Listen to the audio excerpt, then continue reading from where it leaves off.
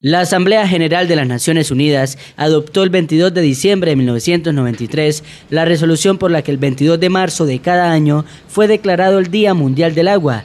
Desde entonces los diferentes estados conmemoran esta celebración.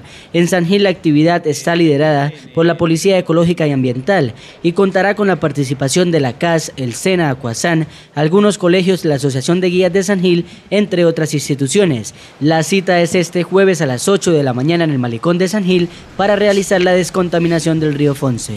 Para que se integren el día 22 de marzo, próximo jueves a las 08 horas, en un acto protocolario que se va a llevar a cabo en el sector del Malecón, donde vamos a celebrar el Día Internacional del Agua.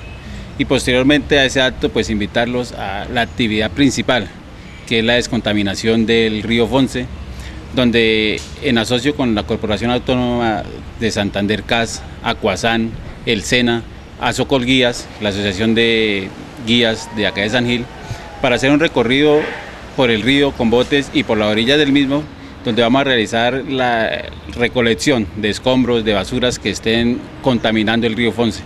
Cualquier ciudadano puede vincularse a esta actividad a realizarse este jueves. Pueden llegar al malecón a las 8 de la mañana en donde se realizará el acto protocolario para luego dirigirse hasta el lugar conocido como La Arenera, en el Valle de San José, en donde iniciará el descenso por el río Fonce en los botes de canotaje para realizar la recolección de los residuos. Acuazán prestará los vehículos para disponer el material recogido en el lugar establecido por la ley ambiental.